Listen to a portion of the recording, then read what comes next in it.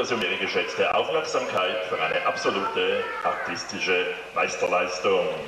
Der eineinhalbfache Salto Mortale vom Schleuderbrett, im Handstand aufgefangen für Sie das Duo der